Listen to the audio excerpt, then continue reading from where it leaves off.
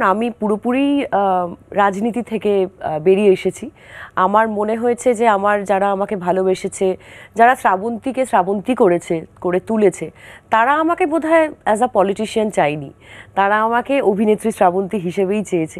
তো সেই জন্য আমি খুব একটা ওই জিনিসটা মাথায় আসছি না। আমি এটা মনে করি ভগবান যা করে মঙ্গলের জন্য করে। তো আমার কাছে সেটাই আমার, এটা আমার মনে হয়। তো মানুষের ম্যান্ডেট মেনে নিয়েছি।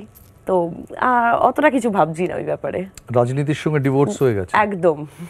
প্রত্যেকটা মানুষের এক একটা থিঙ্কিং থাকে বা এক একটা চিন্তা ভাবনা থাকে। আমি হয়তো একদমই মানে পলিটিক্যাল ব্যাপারে অতটা আমি মানে যেহেতু অভিনয় জগৎ থেকে এসেছি তারা এরা রাজনীতি কি করে বুঝবে?